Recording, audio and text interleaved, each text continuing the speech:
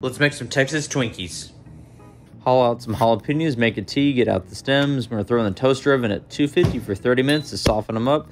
Cream cheese, beef cheek, holy gospel, black pepper, and rosemary salt. Season as desired, mix together. We're going to fill up our jalapenos, fill it out as much as you can, squeeze out the excess, then wrap with thinly cut bacon, season with more holy gospel on the pit at 300 for 90 minutes or until crispy and bacon cooked through. Look at that, it is delicious and you need to try this.